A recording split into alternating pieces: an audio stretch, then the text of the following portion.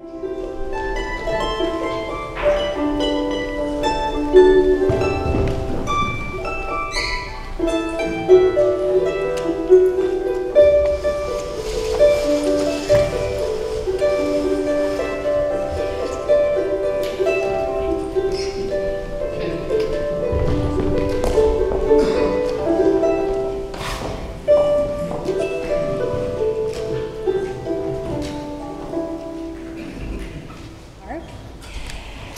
welcome back, everyone. Welcome to school after your long weekend.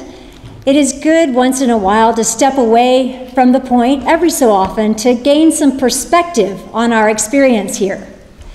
There's an expression, a metaphor that about perspective that I frequently use because for me the picture is so clear.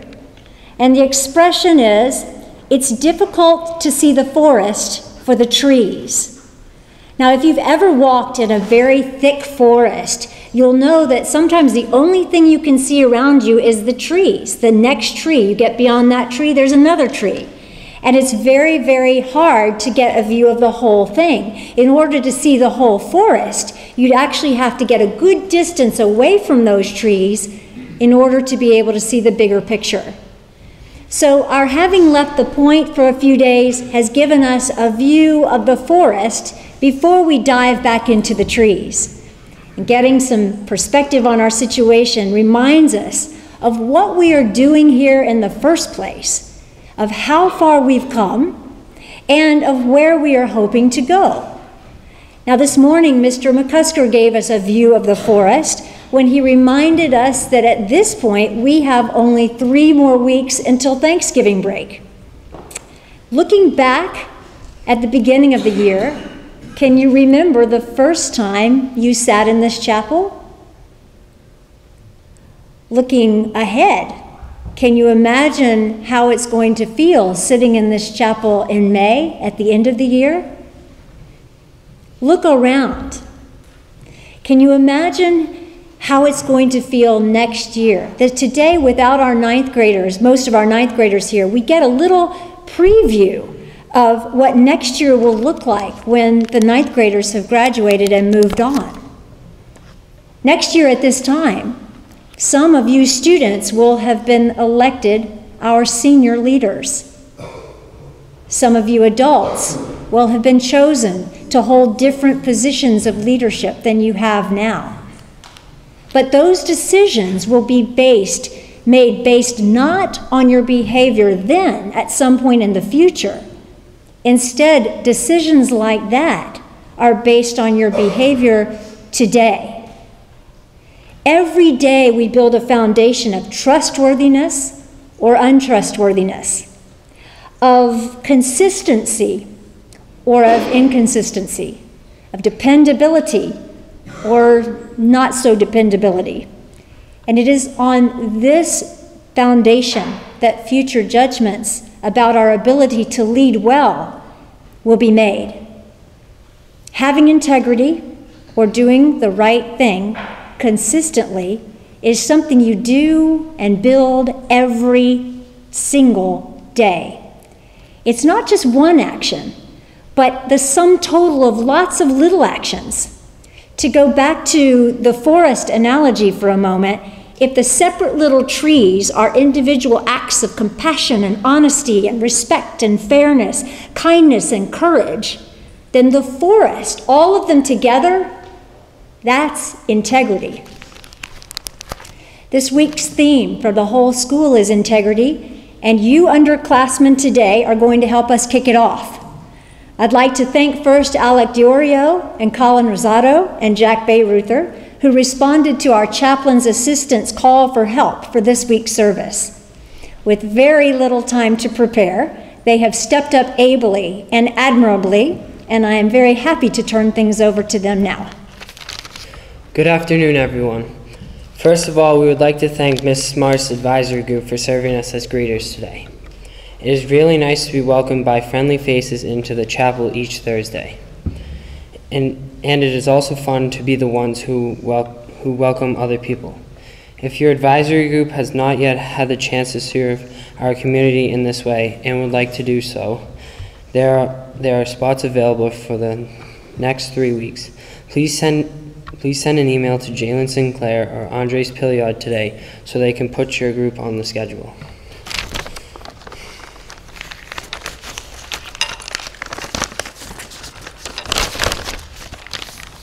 We are pleased to welcome Miss Jocelyn, who will be speaking on behalf of our mentors a little later in the service. We also welcome Kyle Fuller, who will provide our gift of music today. We want to thank them especially for spending their free time over the break to prepare, to prepare for today's service. Before we begin, let us take a mindful pause to center our thoughts and, as Mr. McCusker says, to be where we are while we are here. So please sit up straight and take a deep breath in through your nose. As you exhale quietly, close your eyes and relax into this moment of peace and quiet. At the end of one minute, Jack will ring the bell three times. On the third ring, when you feel ready, you can open your eyes. Okay, are you ready? Take one more deep breath in through your nose, and as you exhale, we will begin.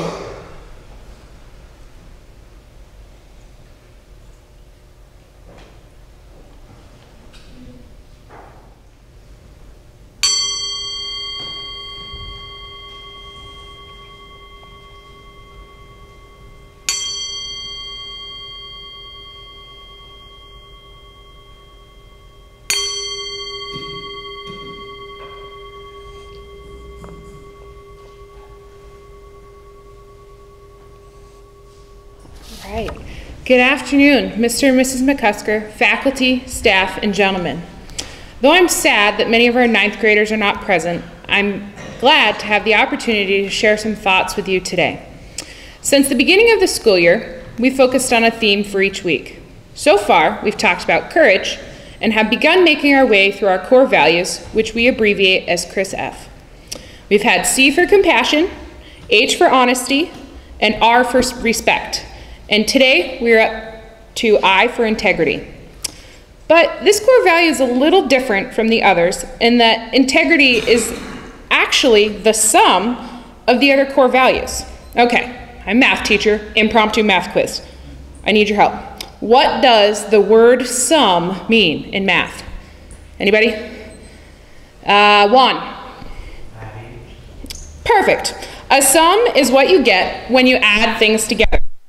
So integrity is a simple equation using the core values that we have covered thus far in chapel. Compassion plus honesty plus respect equals integrity. Integrity is the result of living by the other core values. Let me explain. We have defined integrity as doing the right thing. But what is the right thing? Our core values serve as our guides. Telling the truth is the right thing. Being compassionate and kind is the right thing. Being respectful is the right thing. But integrity involves consistently doing the right thing no matter what the situation is and no matter who is around to see you do it. As our theme for the year is the hero's journey, I'd like to share a story about a hero and his mentor and to ask you to imagine yourself in a situation. So, for a brief moment, close your eyes. And think about a time when you had to make a difficult choice about what to do. Maybe the choice is between studying for your test tomorrow or watching a video on YouTube. Or maybe it's something even more serious. Okay, you can open your eyes. Your mind runs through these various options. Usually there are two options that present themselves. One, what's easy, and the other, the right way.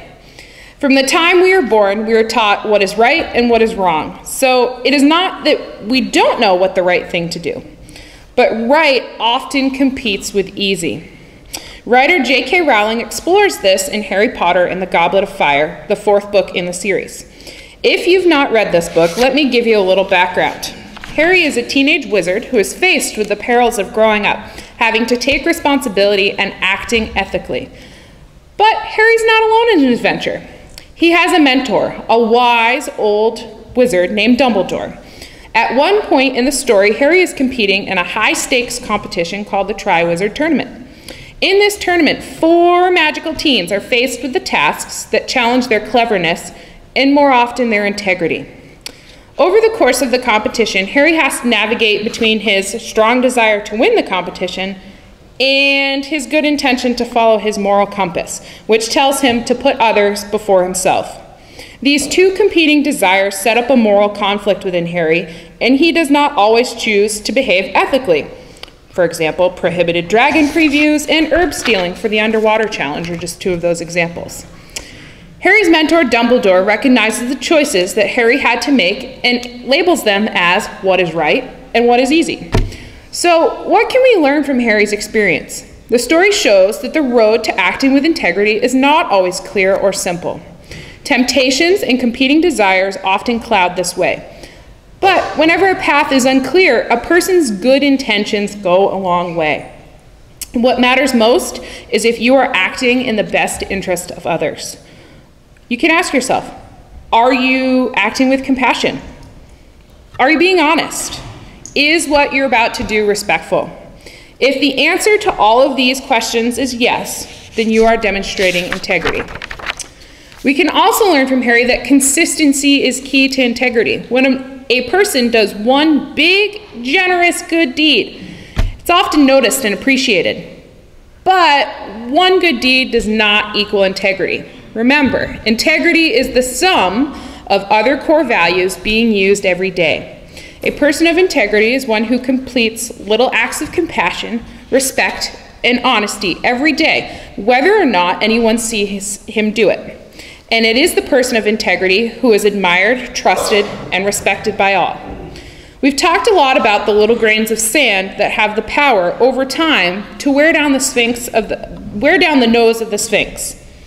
But here's a different perspective, just as Dr. Perryman mentioned. Little grains of sand, cemented together, also form the building, building blocks that form the Sphinx and the pyramids in the first place. Those pyramids have lasted thousands of years because of the combined strength of billions of little grains of sand. Just as little negative, dishonest, thoughtless acts have the power to eat away at a culture or a person's character, it is the cumulative effect, or the total, the sum, of countless little positive, honest, thoughtful acts that builds a strong culture or character. So, here's my challenge to you. When you are faced with a choice, ask yourself three questions Am I being compassionate? Am I being honest? Am I being respectful? If so, then go for it. And when you mess up, and you will, I do, and just like Harry Potter, we make the wrong choices sometimes. And remember that it's never too late to apologize. A sincere apology combined with the determination to do better next time is also a mark of integrity because it is honest, compassionate, and respectful. It is not always easy. Uh, it's not always the easy thing to have integrity, but it's always the right thing. Integrity will guide you well as you continue the difficult, complicated, but exciting journey of your life. Integrity, in the end, is what will make you a hero. Thank you.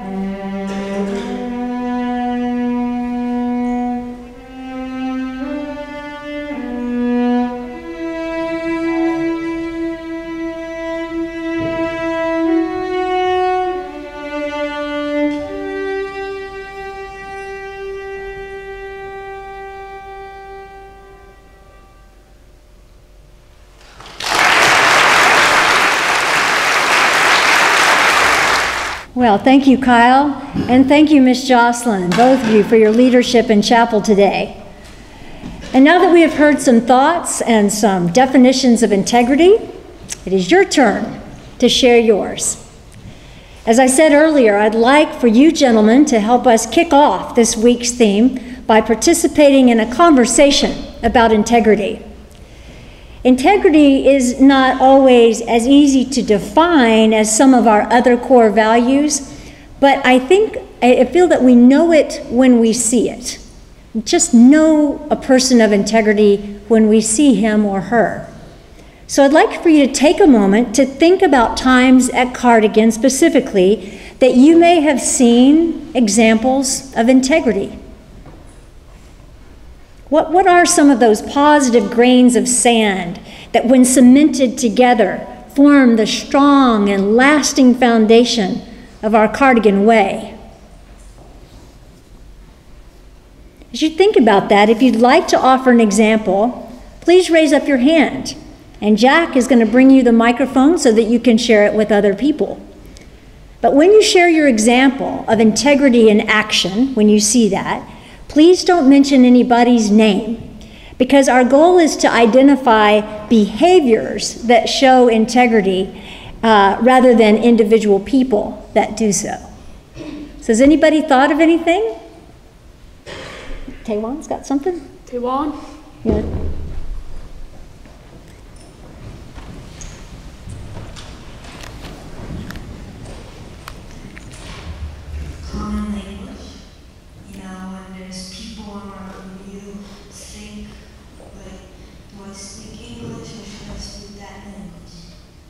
Great, great. So the idea of speaking a common language in order to be inclusive, to make sure that everybody around you feels included and not left out, is definitely a sign of integrity, of compassion, respect.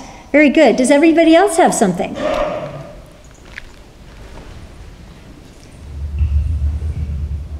Who is that? I can't quite see. Is it Patrick? All right. What have you got for us? Maybe if doing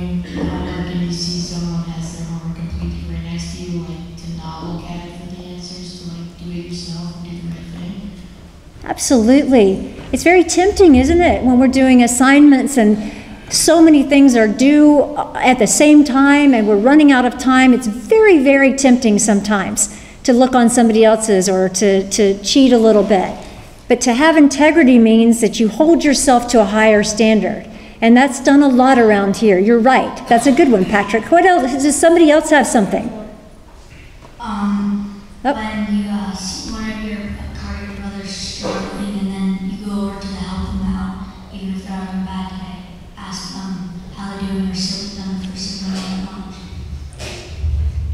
Great, Luke. I think if I heard you correctly, you were saying that you, if somebody's having a bad day, you go over to your cardigan brother and help them out. Is that what you said? Okay, and that and that shows integrity in that it may not even be somebody you feel particularly close to, but because of that bond of brotherhood, you have the integrity to go over and ask him how he's doing. It's a terrific example. Who else has got one? Oh, good luck, Jack. Now all the hands are going up. I'm glad to see this.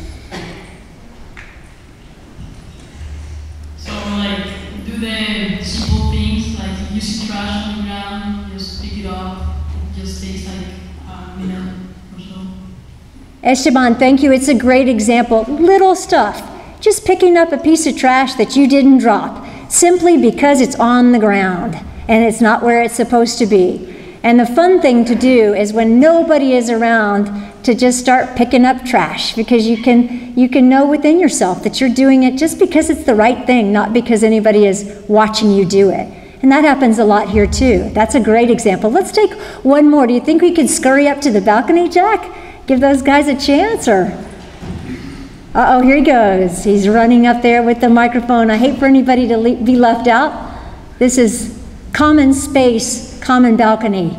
All right, what have we got? Who's going to say something? John or who? who? Well, when you see someone sitting alone at the table to uh, sit next to them. Yeah, absolutely. Seeing somebody alone at a table, or Dr. Perryman's favorite subject, floating when you see somebody that needs to sit down, being aware enough to have integrity and trust that the Cardigan way is to have compassion and respect for others and to invite them to sit with you. That's a great example, too. Guys, the, the, the, nicest thing from my vantage point right now is seeing all the hands that have gone up that we don't even have time to get around to. But I think that those hands bear testimony, they, they bear witness to the fact that this is a place of integrity, that you are young men and a faculty of integrity. It's something we hold very dear. We know it when we see it, we know it when we are it. When we exhibit integrity, we know it. And what I think I can guess by just the examples that you've brought up is that having integrity makes us feel good. We appreciate it when we see it, we feel good when we have it, and life on the point is ever so much more relaxed and fun and safe when everybody tries to do the right things consistently so I thank you for sharing your good thoughts and insights today. And as Ms. Jocelyn pointed out, being a person of integrity is not necessarily easy. We often have to choose between doing the right thing and doing the easy thing, and it can be very difficult, especially with our full and rich lives here, to find the energy not to cut the corners. But we are not alone. And we can ask for help from one another, and we can ask help from God. So I invite you now to join Colin and me in prayer or in quiet reflection.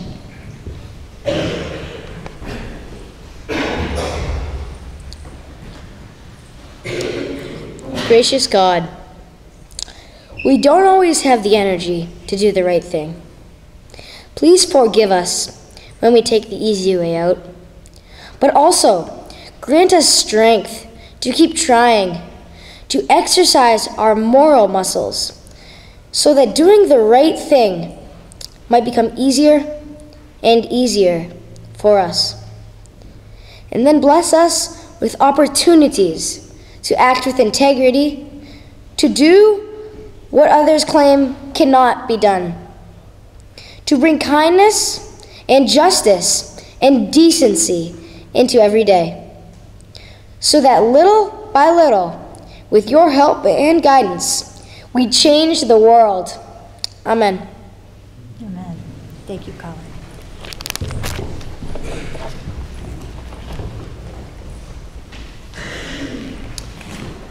At this time, please rise and join in the singing of the Cardigan hymn.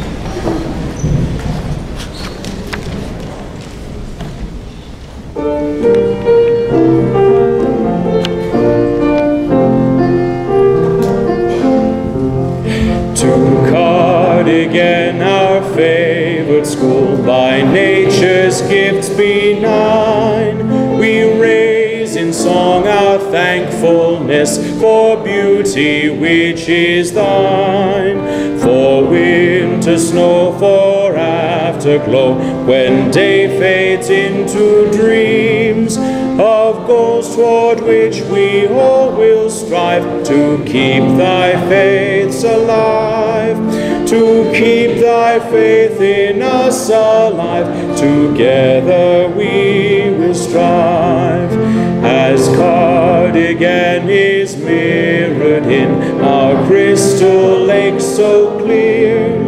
May we through life reflect thy truths and memories as dear of summer's green fall's colors bright, of glimmering stars at night. God give us strength to carry on through storm or weather fair. Peace vouchsafed by living here for all the world to share. Thank you.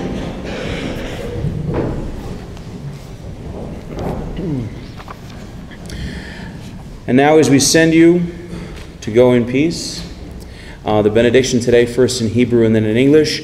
Yivarechecha Adonai v'yishmerecha, Yair Adonai panav elecha v'chuneka, Yisa Adonai panav elecha v'yesem lecha shalom. May the Lord bless you and keep you. The Lord make his face to shine upon you and be gracious to you. The Lord lift up his countenance upon you and give you peace, now and evermore. Amen.